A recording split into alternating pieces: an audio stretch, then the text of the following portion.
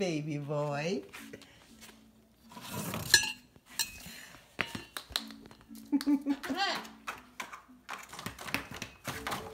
you ready?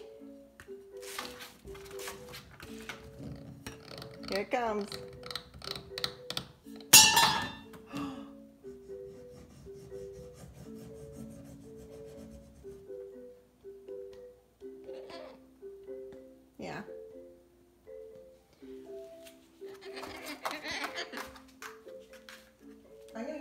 Room. Yeah.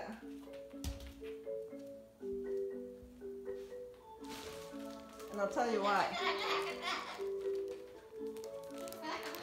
It's five minutes before bedtime.